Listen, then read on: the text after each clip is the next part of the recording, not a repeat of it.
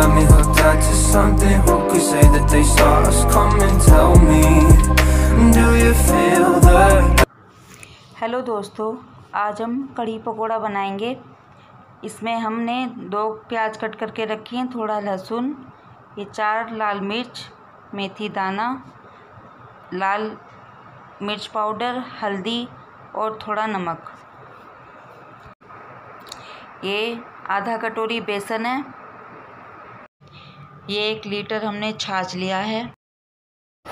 ये पकौड़ी बनाने के लिए बेसन लिया है। इसमें मैंने दो चम्मच बेसन, थोड़ा पानी और थोड़ी लाल मिर्च, नमक और हल्दी मिक्स किए हैं। अब हमने ये छोटी छोटी पकौड़ियाँ तल ली हैं।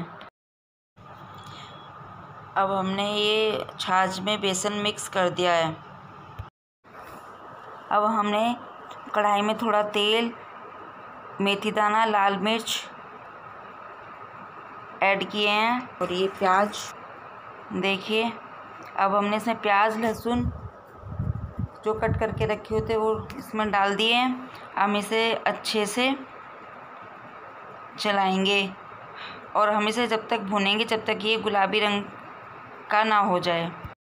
देखिए, ये गुलाबी रंग का हो गया है। हमने इसको अच्छे से भून लिया है।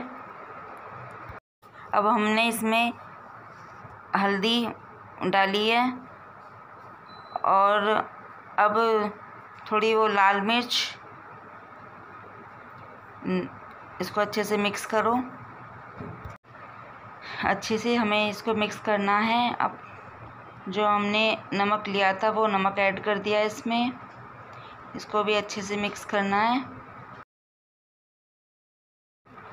अब इसमें हमें ये छाछ डालनी है कढ़ाई में। देखिए, इसको धीरे धीरे से डालना होता है। इसको साथ साथ चलाते भी रहना है, ताकि कढ़ी फट ना जाए। इसका फटने का डर बहुत ज़्यादा रहता है। इसको हमें कम से कम पाँच से दस मिनट तक इसको ऐसे ही कंटिन्यू चलाना होगा।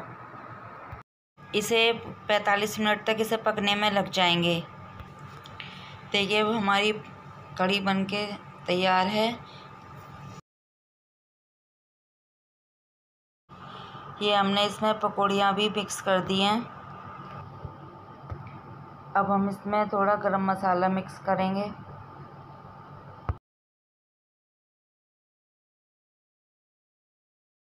अब हमारी पकौड़ा कढ़ी बनके तैयार है।